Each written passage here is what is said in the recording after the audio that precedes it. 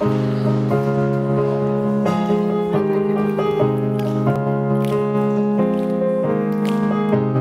very excited to have everyone together this morning to celebrate a very special addition to our New Bridges community. We are the very lucky recipients, New Bridges students, of this beautiful new piano. A piano like this costs a lot of money, and the only way we can have something so beautiful is through the generosity of some very special people who are here with us today. We started about 20 years ago with the idea that we wanted to help school districts all across the country to restore their instrumental music education programs. Since that time, we've now donated about $52 million worth of music instruments. I work for Alex and Ani. We produce jewelry, and how we speak to people is through jewelry. Most everything that we do gives back to the community in some way, shape, or form. How many of you love music? Without further ado, I would like to introduce a great guitar.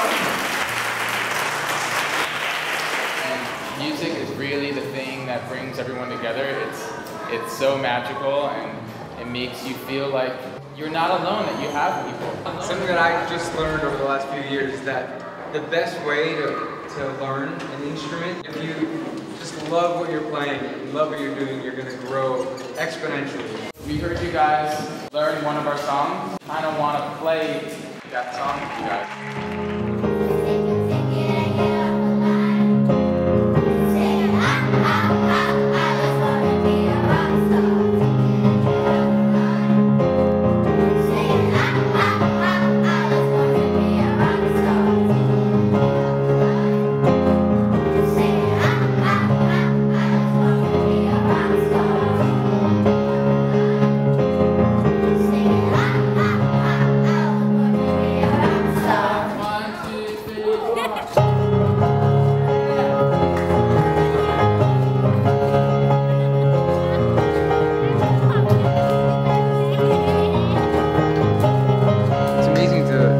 anyone sing your song. It brings a different perspective to what you do when you hear a group of kids like Therese do the song and embody it so fully. I mean, we've been playing that song so much, but then for some reason today, it brought us back to when we wrote it, and it, Yeah. it reminded us why we wrote that song. And I mean, Rockstar is just about keeping the childhood dream alive as you get older. And to see the kids in action was just blew me away. Our founder is a, is a huge believer in music and kind of um, what music can create. So music is love and music is peace.